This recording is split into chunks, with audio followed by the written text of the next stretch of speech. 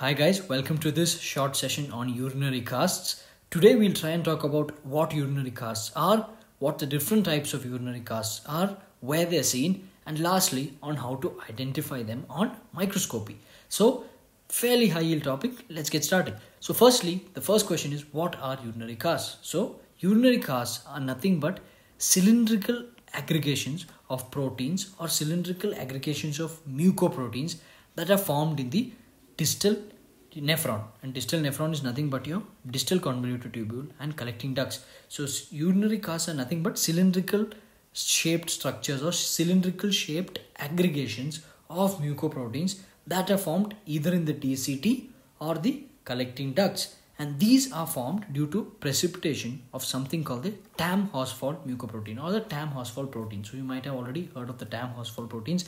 Remember, these Tamm-Horsfall proteins are normally or physiologically secreted by the renal tubules and they are the highest um, or the protein that is most excreted in the urine and it's physiological.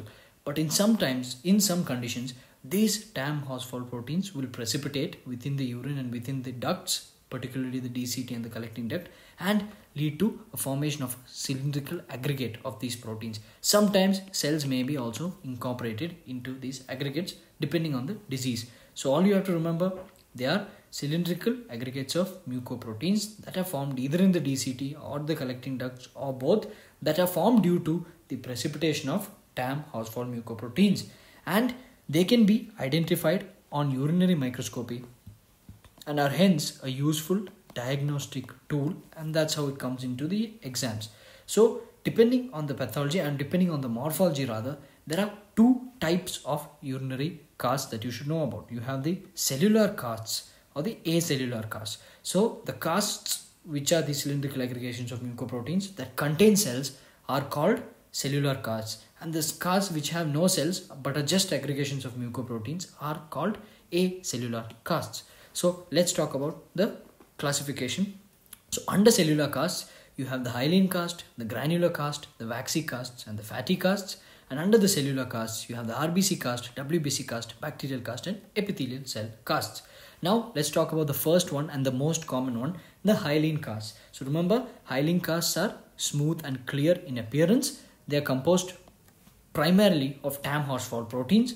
They are, can be seen physiologically but also seen in exercise, on patients on diuretics, and on dehydration. And remember, I told you since they are physiological, they are also the most common type. So, smooth, clear, most common can be physiological, but also seen in exercise, diuretics, and dehydration. Second cast we'll talk about are the granular casts. So, these are slightly more visible. They're granular in nature, hence called granular casts. So, they have a grainy appearance and they are cigar shaped. You can see in this picture, they are cigar shaped or tapering they are composed of primarily of degenerative proteins and they are seen in chronic renal failure, acute tubular necrosis and severe exercise. If you want to know a little extra point, if these are muddy brown in color, it's more suggestive of acute tubular necrosis. So they're granular, more easily seen, cigar shaped, seen in chronic renal failure, muddy brown one seen in acute tubular necrosis, and also in severe exercise. Now we'll talk about the most quizzed or the most important cast from the exam point of view, which is the broad cast. So it's very similar to a hyaline cast, but much broader. So a broad cast or a waxy cast is mainly seen in chronic renal failure. So anytime you see broad cast, you should think of chronic renal failure and which cast has the worst prognosis or which cast is indicative of the worst prognosis.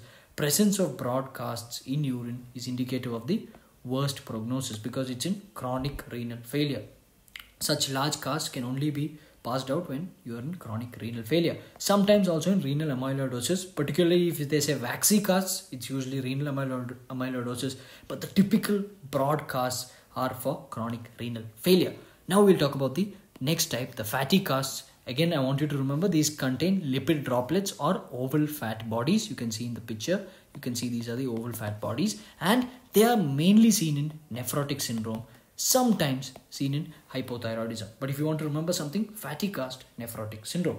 Next, you have your cellular casts. These contain cells, so they can be the RBC cast, WBC cast, or epithelial cast.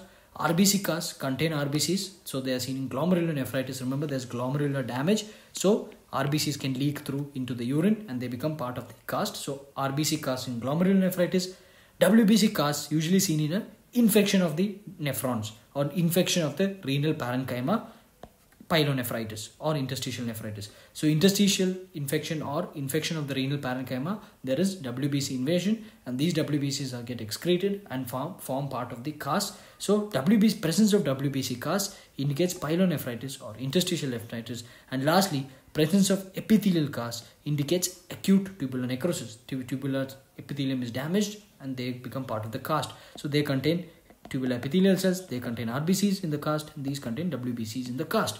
This is how you identify them on microscopy. This is how an RBC cast looks. WBC cast, you can see here how it has a typical look.